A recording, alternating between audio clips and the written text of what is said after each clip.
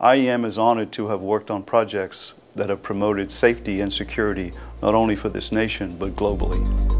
Since 1992, we have worked with what is arguably the strongest risk management program in U.S. history, the Chemical Stockpile Emergency Preparedness Program.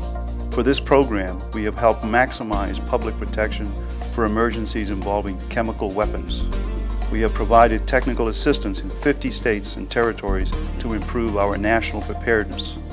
In 2004, IEM won a competitive contract for catastrophic planning and the first project was for the region around New Orleans. We developed Hurricane Pam, a simulated storm that devastates the city of New Orleans. And in 2005, we saw that storm become a reality with Hurricane Katrina. Since 2005, we have supported FEMA in catastrophic planning for the eight-state New Madrid seismic zone, Florida, and Hawaii. At the beginning of the 21st century, we know that the complexity of disasters is increasing.